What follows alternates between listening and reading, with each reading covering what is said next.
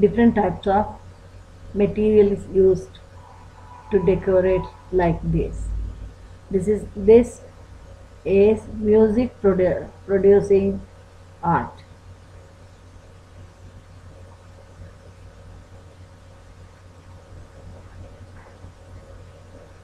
outside Aspinwall. This is just behind the Aspinwall, the same compound.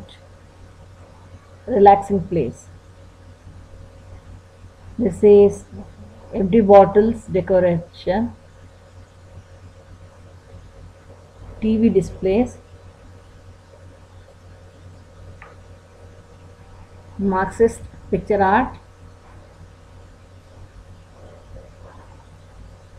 And surprise, surprise. Emily is a volunteer here. We met her. Thank you.